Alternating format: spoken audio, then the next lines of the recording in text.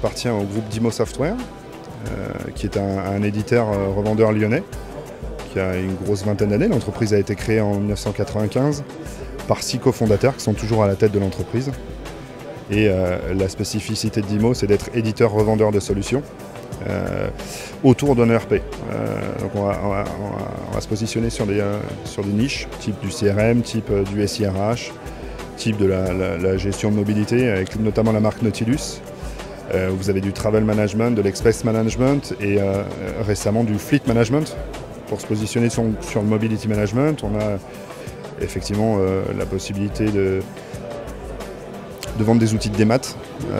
donc autre spécificité, une BU finance qui permet de faire notamment du cash management, de la GMAO aussi, qui est présent dans beaucoup de pays. On a 6000 clients dans 90 pays un chiffre d'affaires d'à peu près 41 millions. 41 euh, millions et demi en 2018, fait par 410 collaborateurs basés en France et à l'étranger. Pour faire des rencontres, pour euh, euh, faire des contrats, mais c'est surtout se confronter aux réalités des acheteurs, aux problématiques des acheteurs et leur proposer nos solutions, comprendre leurs problématiques et, avancer avec eux les, échanges, il y a, le programme est assez riche en, ateliers, euh, donc on peut aussi découvrir des choses de nos confrères. Euh, et puis bien sûr, euh, bien sûr le networking qui est toujours très riche.